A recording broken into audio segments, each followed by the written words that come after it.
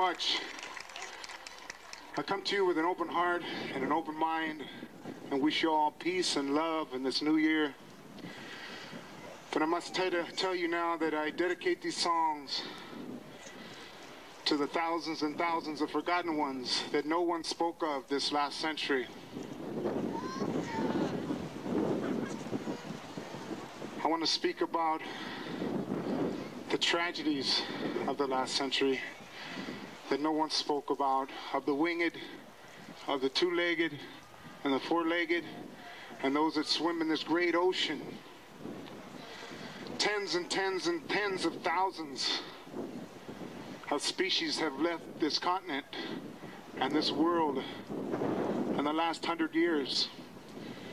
I know we look forward to the future for our children in life. In life, as Native Americans do. But we're in a world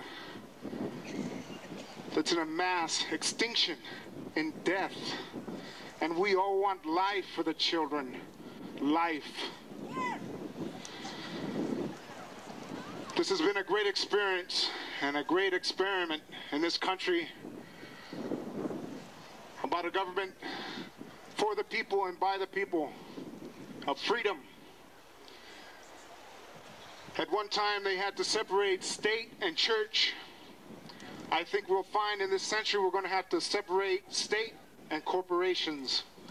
Because there's many things that happen on this earth right now that every single one of us would be truly, truly disheartened for the future.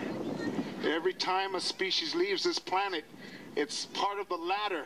That means it's another step for all of us to leave this planet. So I dedicate these songs to those who have left us in the last century, whether they be human or animal or fish or winged. Praise to you all.